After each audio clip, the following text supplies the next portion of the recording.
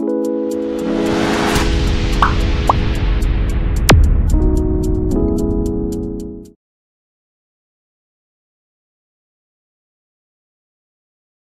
Hepinize merhaba arkadaşlar. Yeni bir video ile karşınızdayız. Bu videomuz bu altcoin nedir serisinden gelecek. Bu videomuzun adı bu altcoin nedir? XTZ Tezos arkadaşlar. Öncelikle bizlere ve kanalımıza destek olmak için kanalımıza abone olmayı, videolarımızı beğenmeyi ve videolarımızdan anında haberdar olmak istiyorsanız bildirimleri açmayı unutmayın arkadaşlar. Her bu altcoin nedir videomuzda yaptığımız gibi bu videomuzda da Tezos'un temel teknik anlamdaki verilerini, coin market cap verilerini ve teknolojisini varsa takımını ne işe yaradığını sizlerle detaylı bir şekilde bilgilendirme amaçlı paylaşacağız arkadaşlar. Tezos nedir sorusuyla başlayacak olursak kendisi Ethereum'dan çok farklı olmayacak bir şekilde akıllı sözleşmelere dayanan bir blok zinciri ağı. Yalnız arada büyük bir fark var arkadaşlar. Tezos daha gelişmiş bir altyapı sunmayı hedefliyor. Yani herhangi bir problem olduğunda hard fork tehlikesi olmadan zaman içinde gelişebilir ve geliştirilebilir bir blockchain bir zincir ağı arkadaşlar. Bu özelliği yaratıldıklarından beri yani hem Bitcoin'in hem Ethereum'un biliyorsunuz ki sürekli sıkıntıları var. Hard fork, hard fork, hard fork çektiği, sıkıntı çektiği dünyada kendisi böyle bir sıkıntı çekmiyor. Hard fork gerektirmeden geliştiriciler tarafından öne sürülen protokol yükseltmelerini ağ üzerinde stake yapan nodlar yani sizler oy sahipleri bu yükseltmeyi isteyip istemediğinizi oyluyorsunuz. Bu oylama sonucunda da kendisinin bu yükseltmeyi yapıp yapmayacağı belli oluyor. Yani tamamen sizin yönetiminizde olan bir coin gibi düşünün. Yani yatırımcısının yönetiminde olan bir coin gibi düşünün.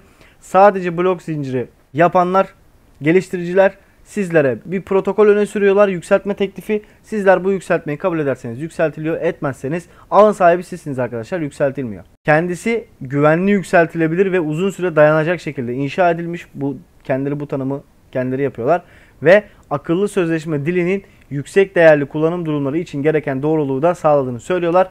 Tezos'a göre yaklaşım geleceğe yönelik olduğu ve geleceğe kadar en son teknolojiyiz. Sürekli gelişen olacağız anlamına gelen bir açıklama yapmışlar.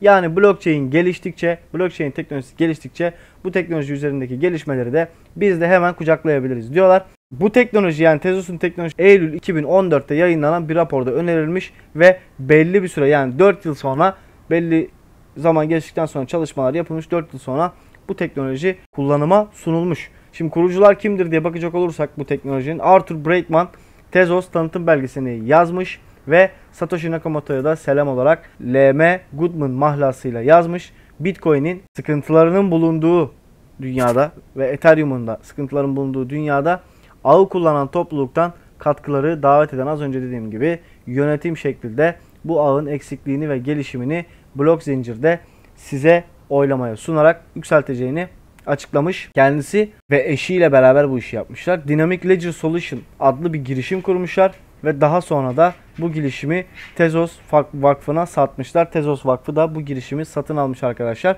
Şimdi Tezos'un özelliklerinden biri daha var kendisinin bu sistemden diğer ağlardan ayıran özelliklerden biri var. Blockchain'ler arasında stake biliyorsunuz yaygın yani post birçok blockchain'imizde var. Bu süreçte kendisinin farklı bir yanı var. Etkin bir şekilde 8000 tezosu madenciliğe yani stake'e verdiğinizde ağın yönetimine dediğim gibi oy sahibi olabiliyorsunuz. Yani bu sistemde oy sahibi olabilmeniz için 8000 tane tezosu arkadaşlar stake'e vermeniz gerekiyor. Node olmanız için diyeyim daha doğrusu. Node olduktan sonra da ağın yönetiminde pay sahibi, hak sahibi olabiliyorsunuz, oy sahibi olabiliyorsunuz. Aynı zamanda dediğim gibi önerilen değişikliklere oylar verebiliyorsunuz ve verilen oylardan sonra 23 gün sürüyormuş oylama. 4 aşamalı bir prosedürle oylanıyormuş. Büyük çoğunluktan destek alırsa 48 saat boyunca bir ağda bu güncelleme test ediyor. Öyle hemen paldır küldür yapmıyorlar ve test edildikten ve olumlu olduktan sonra yine çok daha fazla bir çoğunluğun onayı olduktan sonra tam olarak bu güncelleme uygulanıyormuş arkadaşlar. Kendisi yüksek profilli işletmeler tarafından kullanılmaya başlanması nedeniyle de bir benzersizliği var. Eylül 2020 yılında Fransız bankacılık devi dikkatli dinleyin Societe Generale'nin bu blok zincirini Merkez Bankası dijital para birimini denemek için kullanmayı planladığını açıklamış. Yani bu blok zincir üzerinde bir Merkez Bankası dijital para birimi olacak planlamaları varmış. Bunu açıklamışlar. Kendisi ciddi anlamda fiyatlanabilir. Tabi böyle bir haber olmuş ama şu anda bir araştırma söz konusu. Bu ağın güvenliğine bakacak olursak kendisinde post var zaten. Herkes dediğim gibi doğrulayıcı olabiliyor ve güvenlik teminatı yani yatırdığınızı güvenlik teminatı olarak veriyorsunuz ve bu ağda kendiniz oy hakkı da yönetim hakkı da elde edebiliyorsunuz. Kendisinin web sitesine bakalım. Öncelikle en büyük artısı Türkçe dil desteği var arkadaşlar. Türkçe'ye çevirin. İstediğiniz her yeri burada detaylı bir şekilde okuyun. Benim size yapmış olduğum tanımların, yapmış olduğum anlatımların hepsi burada mevcut. Burada kendileri iş ilanları da var. Hani bu işle ilgilenen arkadaşlarım varsa kendini geliştiren blockchain'de bu işi bir iş olarak gören arkadaşlarım varsa e, kendisinin iş ilanları da var. Belli takım arkadaşları da arıyor, arıyormuşlar. Burada işte size dediğim topluluk tarafından yönetilen ve gelişen bir teknolojik vizyonumuz var bizim ve bizler bu yükseltmeleri topluluğumuza sunduk ve bunları bize onayladılar diyorlar. Burada da yıl yıl aslında bir yandan da geçmişte topluluğun yapmış olduğu işi yani bu bu piyasanın, bu sistemin, bu blockchain'in gerçekten merkezsiz olduğunu yani toplumun yönetiminde olduğunun da bir kanıtı kendisi. Dediğim gibi buradan çok net bir şekilde NFT'lerle de ilgili haberleri var. Dediğim gibi bankalarla ilgili haberleri var. Kendisini detaylı bir şekilde araştırmanız gerekiyor. Bu işi proje anlamında gören arkadaşlarım varsa, yatırım yapmayı düşünen arkadaşlarım varsa Türkçe'ye çevirip her şeyini detaylı bir şekilde inceleyebilirsiniz. Güzel de bir web sitesi yapmışlar. Hem launch yani öğretme adına hem de token üzerinde oluşturma adına güzel eğitimler vermişler. Dediğim gibi detaylı araştırabilirsiniz.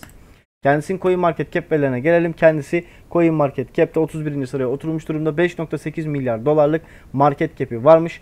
Total, maksimum supply'si yok ama toplam adeti 889 milyon adetmiş. Şu anda da dolaşımda 859 milyon adet mevcutmuş. Burada benim bir öngörüm var arkadaşlar. Burada büyük ihtimalle ilerleyen tarihlerde çünkü total supply'e çok yaklaşmış durumda. Adet arttırabileceğini zannetmiyorum ama burada bir yakım söz konusu olabilir gibime geliyor. Tezos ağı üzerinde. Taglarına bakacak olursak konsensus algoritma yani çok yönetişimli bir algoritma demek. POS var arkadaşlar. Binance Smart Chain var. Akıllı sözleşmeler var. Burada Vingolos Capital e, göze çarpan bir kapital firması ve Polychain Capital bu iki kapital önemli destekleri var. NFT desteği ve DeFi desteği de yani merkeziyetsiz olduğu için DeFi desteği de kendisinde mevcut.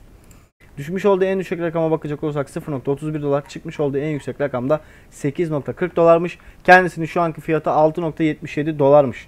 Listelendiği marketlere bakacak olursak Binance'te, Coinbase'te, Huobi'de, Kraken'de, KuCoin'de, Gate.io'da, Bitfinex'te, BitHump'ta, Gemini de var.